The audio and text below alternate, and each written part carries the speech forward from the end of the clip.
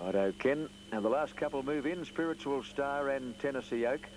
And the field of eight steadies down in brilliant autumn sunshine as the gates fly open and they're away in the NEC St Leger. Came out in a nice line and Gull Sovereign went to the lead early, taken on by Short Touch and Shirley's Delight is quickly into a handy spot. Linesman on the outside wants to over race a bit as they come over the rise the first time. Bozart is going to settle on the fence about fifth and then Brilliant Poet followed by Tennessee Oak and back at the tail Spiritual Star coming down to the 200 metres mark on the first occasion. And Gull Sovereign, who won this race two years ago by leading all the way, is in front again, led by a half to linesman who's settling better. Short touch third on the inside of Shirley's Delight. About two and a half away, Bozart on the inside of Brilliant Poet. Two and a half to the long striding Tennessee Oak. And Spiritual Star back at the tail of the field as they leave the judge behind them. And on the turn out of the straight in the St Leger, Gull Sovereign in his favourite role. He led by about 30 lengths in a Melbourne Cup a couple of years back. He's not that far in front today, but he's high balling it out in the lead, led by a bit more than a length to linesman on the outside of Short Touch, followed by Shirley's Delight. Bozart on the inside of Brilliant Poet. Two and a half to Tennessee Oak and a length and a half away Spiritual Star, who's lobbing along without a care in the world as they leave the 1800 mark behind them. And it's Gull Sovereign speeding up a touch, led by a length to linesman. Short touch in third place as they go over the mile crossing. And then Shirley's Delight, two to Bozart on the inside of Brilliant Poet, about three and a half or four to Tennessee Oak, and a length and a half to Spiritual Star last in the back straight. At the 1400 mark, Gull Sovereign the leader, three quarters to linesman, keeping in touch with him in third place. Short touch, a half length away, Shirley's Delight. Bozart on the inside of Brilliant Poet, a gap to Tennessee Oak. And a length away last is the grey Spiritual Star as they approach the 1200 metres mark in the NEC St Leger. Gull Sovereign the leader, Linesman second, Short Touch third, Shirley's Delight fourth on the outside, a length and a half away, Bozart on the inside, a brilliant poet followed by Tennessee Oak and Spiritual Star last as they reach the top turn at the 1000 metres mark. Gull Sovereign still in front by a half to Linesman who's keeping the pressure on him. There goes Shirley's Delight taking off, making a surprise early move two lengths away, Short Touch, and then Brilliant Poet followed by Bozart and Tennessee Oak and Spiritual Star last about nine off the lead as they come to the 600 mark and they're fair dinkum now. It's Gull Sovereign just the leader, Linesman on the outside, Shirley's Delight dropping off again, Short Touch on the fence, then Brilliant Poet, Bozart is saving every inch of ground. Now she's come to the outside of Short Touch, followed by Tennessee Oak and Spiritual Star last as they thunder around the turn in the St Leger. Over the rise and Linesman in the Harry Lawton colours took the lead as they top the hill. Brilliant Poet coming after him. Bozart between horses and Spiritual Star coming right down the outside. But Linesman has dashed away past the 150. Well clear of Spiritual Star who's running on gamely. And then Tennessee Oak. But Linesman, he can stay. He stays all day and half the night. And Linesman wins easily over Spiritual Star. Tennessee Oak third then Bozart, Brilliant Poet, Shirley's Delight, Short Touch and Gull Sovereign last in the NEC St Leger.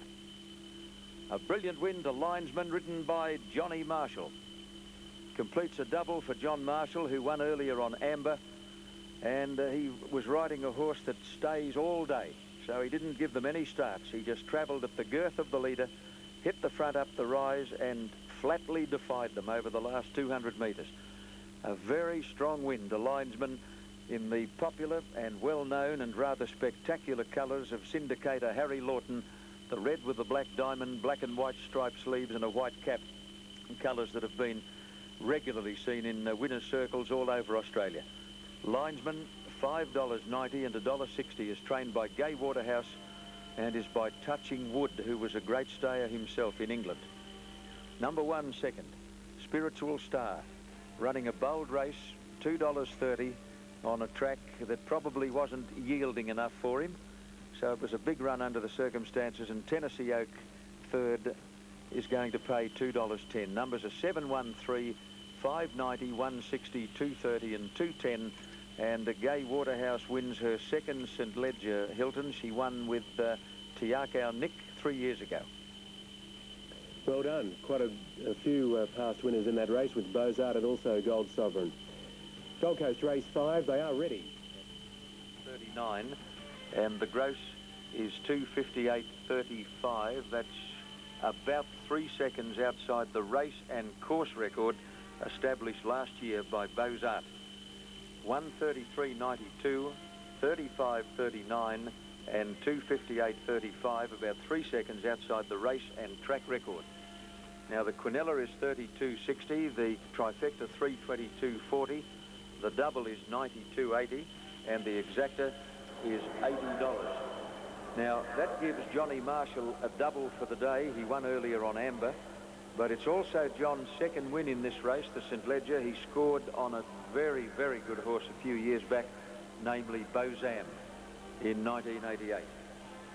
Beau Zam carried all before him that year, winning the Tancred Stakes, the AJC Derby and the St. Leger. Linesman is certainly no Beau Zam, but he's a very tough and honest horse, and he stays uh, very well indeed. He's a bay gelding by touching wood out of line call, is raced by T.J. Smith, J. Leslie, P. Aldrich, A. Howarth, A. McCormick and M. Grant, is trained by Gai Waterhouse and ridden by Johnny Marshall notching his second St. Leger. And uh, the horse was syndicated as a yearling by uh, ever popular Harry Lawton and carried Harry's well-known colours.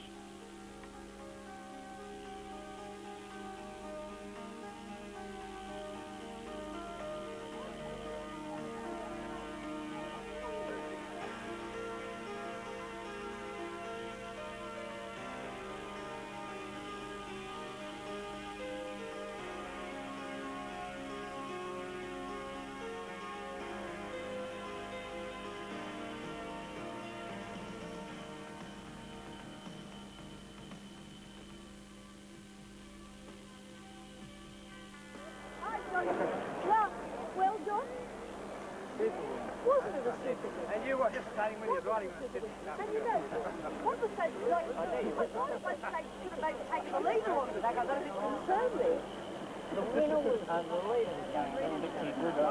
You're right, Ronnie. We were riding. We were running for 282. I said, I'm disappointed I didn't take the leader on him, but he said that. The leader's going a little bit too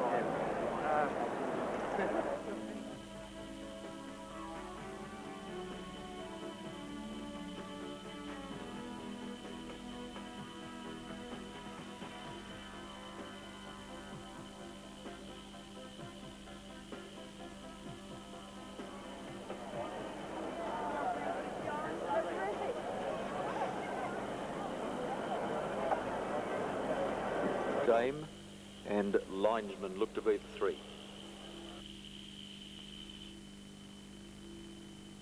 He's won though. He won the St. Leger. Uh, what, two years ago? Look, Two years ago or last year? Uh, time gets away. He's a five-year-old. Might be two years ago when he won the St. Leger. Now, Too Darn Hot and Ask the Waiter have moved in together. So we'll have them on their way shortly in the chairman's handicap. Linesman and Bonnie Busker are the two we're waiting on.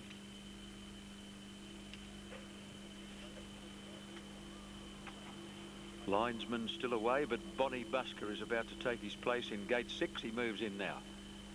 And just waiting for Larry Cassidy, fresh from his Doncaster triumph, to bring Linesman up on the extreme outside of the field. All set. A stepping stone to the Sydney Cup is the Group 3 Chairman's Handicap, ready to run. They're off. Nice start, came away in a good even line, and it'll be hard to find an early leader. Enjoyment is one of them. Max Victory is striding towards the front with Hickey Picker, Too Darn Hot, Dance Hall Dame, and Linesman is being allowed to cruise over by Larry Cassidy as they come down towards the judge the first time. And it's Linesman on the extreme outside going to the lead in third gear by a length and a half to Too Darn Hot, who's pulling on the outside of Max Victory. Dance Hall Dame is about to sweep around them into second place, followed by Bonnie Busker.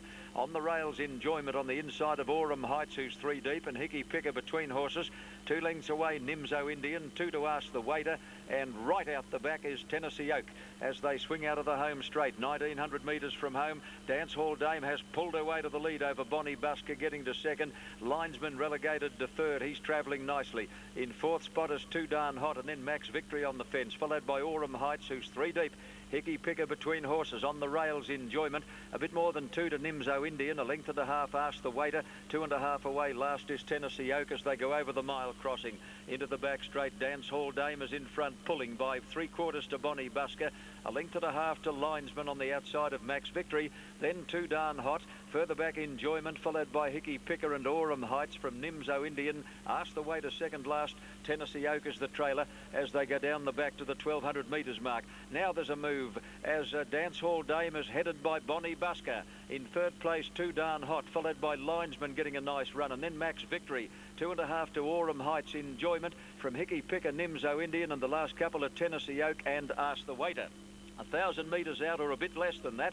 Bonnie Busker is in front in the chairman's handicap, a bit more than a length. In second place, Too Darn Hot. Linesman is now looming to third. He's three deep as they go over the crossing. From Dance Hall Dame, Aurum Heights is three deep. Max Victory between horses. Two and a half away, Enjoyment with Hickey Picker. Tennessee Oak is out three wide, working into the race, followed by Nimzo Indian and Ask the Waiter as last as they come to the 600 metres mark. Linesman is level with Bonnie Busker. In fact, he's put his head in front now. Aurum Heights is moving up on the outside. Dance Hall Dame is now hard at it. So is Too Darn Hot followed by Max Victory, Hickey Picker and Tennessee Oak about to be pulled to the extreme outside as they come over the rise. The two leaders are a mile in front. It's Linesman and Aurum Heights. They're four on Max Victory, followed by Nimzo Indian. Linesman has beaten off Aurum Heights and away goes Linesman. He put about four lengths on Aurum Heights, followed by Nimzo Indian, but this is going to bolt in in the Harry Lawton colours.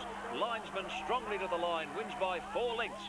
Nimzo Indian got second, Aurum Heights third, asked the way to fourth. Tennessee Oak only plotted, followed by Max Victory. A mile back, Enjoyment, followed by Hickey Picker, and then Dance Hall Dame, too darn hot, and tailed off his Bonnie Busker. Well, he looked the goods most of the way. Linesman ridden by Larry Cassidy and a winning double for Larry and for Gai Waterhouse in consecutive races. Linesman, $5.70 and $2.10. Number three, Nimzo Indian, Darren Beadman second, $1.80 and Aurum Heights third. Number five, Stephen King to pay $3.20.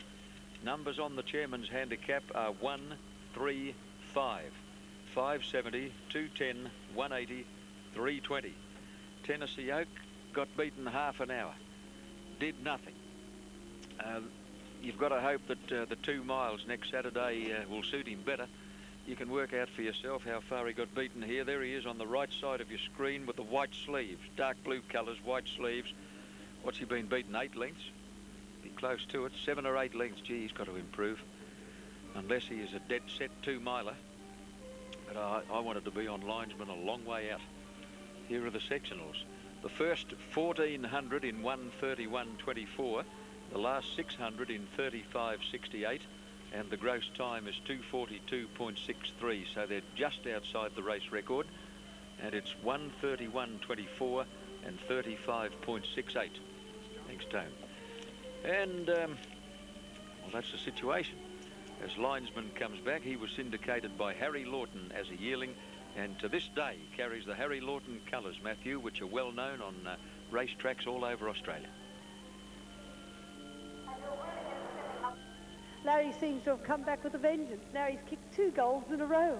certainly this horse looks like a stayer, and he rode him like one today, didn't he?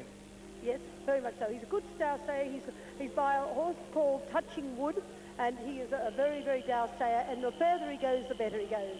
Okay, Randwick in the autumn, Gai Waterhouse, a double, including the Doncaster, and now the Chairman's. Linesman is a bay gelding, a five-year-old by touching wood out of line call. Raced by T.J. Smith, J. Leslie, P. Aldrich, A. Howarth, A. McCormick and M. Grant. Trained by Gai Waterhouse, a winning double for Gai and for jockey Larry Cassidy. Three and three-quarter lengths the winning margin. Three quarters second and third. Three and three quarters by three quarters. Quinella 11.30. Trifecta $218.30. Daily double 61.70. Well, Larry Cassidy is the winning rider, and that's win number two. Everyone seems to ride doubles here today, Larry. That's nice for you. It is very nice. Um, good win by the horse too.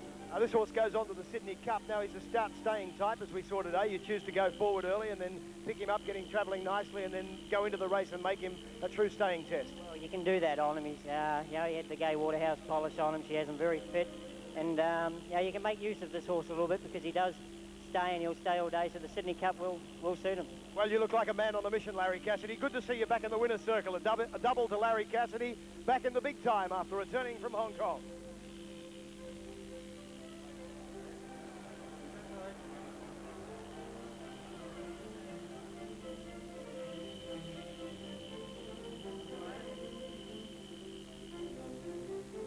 Derby winner to win the Cup since 1981.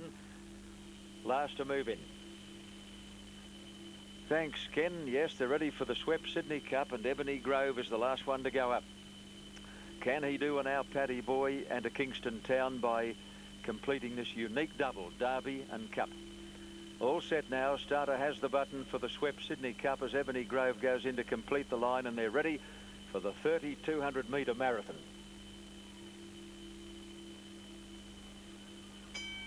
Off and running in the Cup. Sterling Emblem on the outside, fired out of the gate and will be the early leader over Grandmaster. Arctic centres away well. Nothing like a Dane is going through to be one of four or five leaders. Linesman's there too. And the mare Aurum Heights is getting right along the fence to head them all off at the end of 200 metres or so. Aurum Heights in front at the 600 metres mark on the first occasion. She wants to go faster. Linesman getting to second in third place, dropping into a nice posse now as Grandmaster followed by Ed on the inside of Nothing Like a Dane. Estadard on the inside of Magnet Bay with Arctic Scent three deep on the turn the first time. Further back in the field then as they come over the rise in the home straight as Palace Verdes, followed by Nimzo Indian and then Tennessee Oak and well back Ebony Grove and Sterling Emblem after beginning well has now drifted back to the tail of the field but it's Aurum Heights in front as they come down the home stretch on the first occasion with a lap to go when they reach the judge. Aurum Heights pulling a bit, led by four lengths to Linesman, four lengths away Grandmaster and a half length to Nothing Like a Dane. A bit more than a length to Ed on the inside of Magnet Bay. Istadard on the inside of Palace Verdes and Arctic Scent three deep and has been from the outset.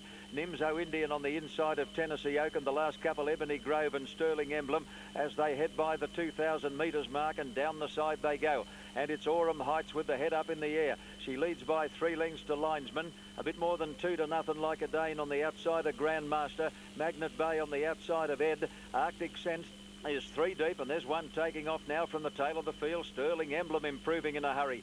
Palace Verdes between horses on the fence as Istadard. Tennessee Oak is third last. Nimzo Indian second last. And Ebony Grove ridden patiently by Johnny Marshall is back at the tail of the field 12 lengths from the lead. Into the back straight approaching the 1400 metres mark. Aurum Heights in front and led by a length to linesman keeping her busy. Two lengths away Sterling Emblem a half to nothing like a Dane on the fence. A length and a quarter to Grandmaster. A neck to Magnet Bay on the outside followed by Ed who's midfield as they race down the back. At the head of the others Arctic Scent, Palace Verdes between runners. On the fences, Istadar. The gap then to Tennessee Oak with Nimzo Indian and still Ebony Grove whips them in as they go up to the top turn at the 1,000 metres mark. Aurum Heights led the pace as genuine now by a half length to linesman. Two and a half lengths away, Sterling Emblem on the outside of Nothing Like a Dane. Two and a half to Magnet Bay, followed by Grandmaster. Ed has pulled out three wide. He's starting a forward move. Istadada's getting away from the rail, followed by Palace Verdes. Hard ridden now. Arctic Scent covered a heap of extra ground. She's under pressure, followed by Nimzo Indian. Ebony Grove between horses and Tennessee Oak on the outside is dropping out to last as they come to the 600 metres mark and Linesman shot to the front. Linesman leads the cup field around the corner. He's two lengths or more in front of Aurum Heights. Here's nothing like a Dane looming into second place, followed by Magnet Bay and then Istadard Grandmaster. Ebony Grove is into the clear now and is giving them about seven lengths as they come over the rise where Linesman is a mile in front. Linesman by about four lengths to nothing like a Dane. Ebony Grove down the middle of the track. Istadard is battling away, but Linesman in the Harry Lawton colours is six lengths in front of Ebony Grove and nothing like a Dane. He's a fair dinkum, genuine stayer. Linesman, he could go around again. Linesman bolts away with the Sydney Cup. Nothing like a Dane has come again to get second. Ebony Grove dying on his run third. Istadard fourth, followed by Grandmaster, Ed, Arctic Scent, Magnet Bay, Palace Verdes, Tennessee Oak, Sterling Emblem, Aurum Heights and Nimzo Indian last in the swept Sydney Cup for 97. Linesman in the famous Harry Lawton colours has donkey licked the field in the Sydney Cup. Number eight linesman ridden by Larry Cassidy. And what a week it's been for this expatriate Kiwi jockey, the Doncaster, the Galaxy, the Sydney Cup. Linesman to pay better than $11. $11.60 the win and $3.50 the place. Gai Waterhouse has Quinell of the Cup. Nothing Like a Dane has come again to get second and Jimmy Cassidy rides the runner-up. So on two occasions today, the Cassidys have Quinell of the race and uh, they're first and second in the Sydney Cup with Larry again prevailing. Nothing Like a Dane to pay $2.10 and number seven third, Ebony Grove, John Marshall put in his uh, customary big spurt on top of the rise, but his run petered out short of the line. Ebony Grove pays a place dividend of $3.20. Now the first mile in 142.46, the last 600 in 36.33. 142.46 the mile, 600 in 36.33. That's a pretty good sectional at the end of a two-mile race and the gross time is 320.59. They're one and a half seconds outside the course record shared by Apollo 11 and Just a Dancer. Winning margin, five and three quarter lengths with a long head between second and third. And Linesman has now won the St. Leger and the Sydney Cup on this track. He was syndicated as a yearling by Harry Lawton, so that's uh, Sydney Cup win number two for uh, the well-known syndicator. Harry also sold Daacha, a Sydney Cup winner a couple of years back. Linesman is a bay gelding, a five-year-old by Touching Wood out of Line Call. Is raced by T.J. Smith, J. Leslie, P. Aldrich, A. Howarth, A. McCormick and M. Grant. Is trained by Gai Waterhouse. And Larry Cassidy rounds off a tremendous week, having won the Doncaster, the Galaxy, and now the Sydney Cup. He's only been back from Hong Kong a short time and he needed a good carnival to relaunch his Sydney career, but he's certainly done that in a blaze of glory. And here's Larry coming back wearing the Harry Lawton silks on board linesman. Brother Jimmy on Nothing Like a Dane. That horse raced as generously as I've seen him race in a long, long time. Nothing Like a Dane. He simply was outclassed at the weights and uh, gee, there was a difference. Uh, 51 and a half linesman, 56, nothing like a Dane, but you know how sour he can get on occasions. Uh, it, uh, it's a long time since I've seen him race as generously as that. He really had his mind on it for his new jockey today. But here's uh, little Larry, and Jimmy must be getting sick of the look of Larry's backside. Just at the moment, Jimmy needs a Group 1 winner badly uh, to relaunch his career. He hasn't been able to crack it for a Group 1 since uh, resuming in January. Uh, and he's running out of Carnival Hilton.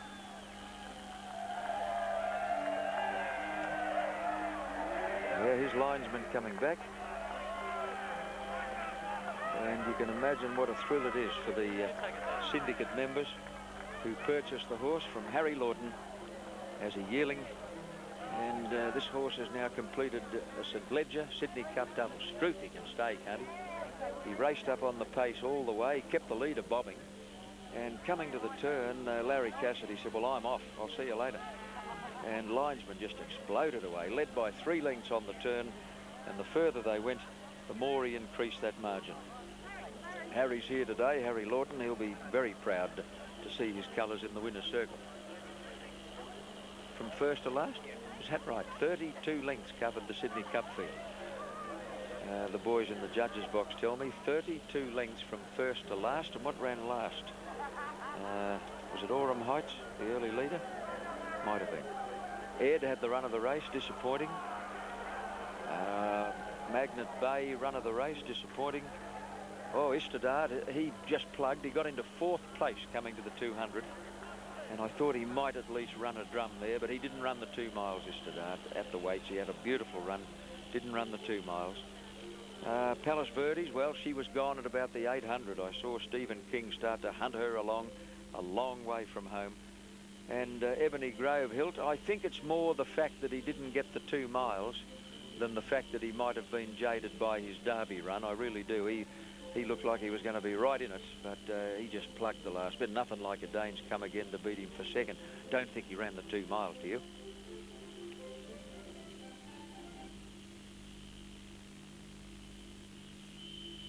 But I believe he's the best in Australia.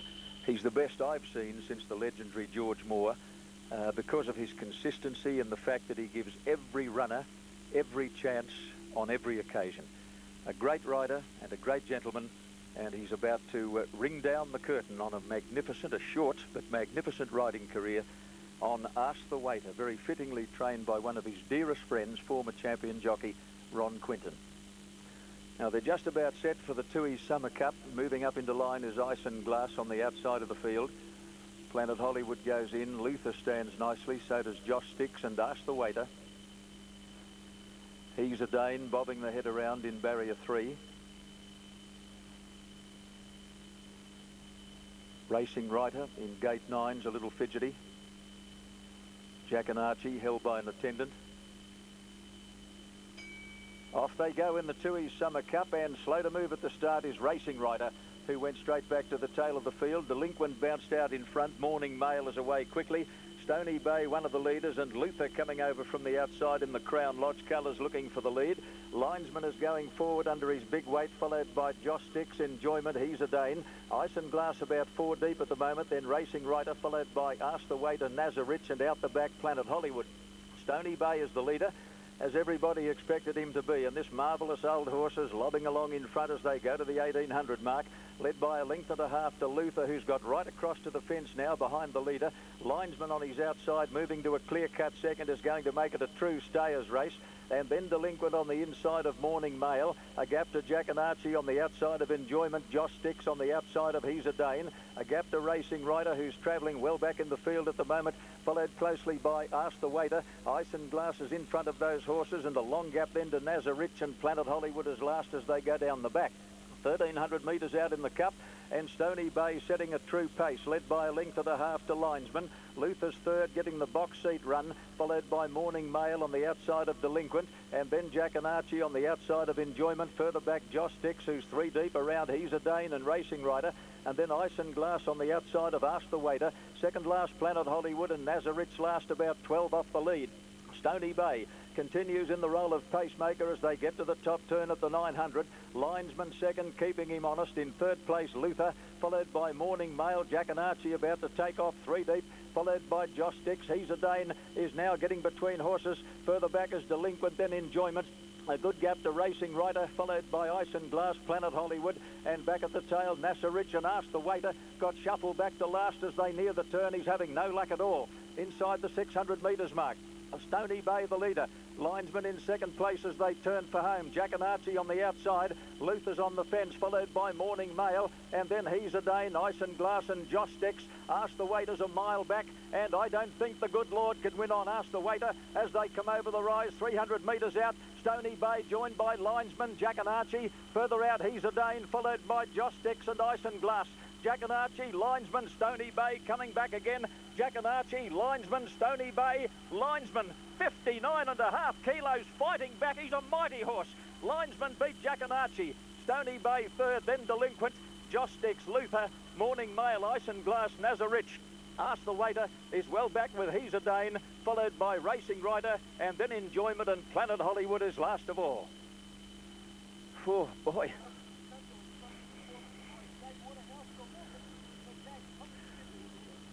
Number one, linesman, ridden by Larry Cassidy. What a horse he is. First start since the Melbourne Cup, and it's a great training performance too by Gai to win a 2400 metre race with a horse that hadn't started since November the 4th. $9.50 and 350 by gee, try, trying to, to watch Darren, hoping Darren could win and I've got to say that I was feeling, I think, more emotion in that race than I have at any other race that I can remember calling.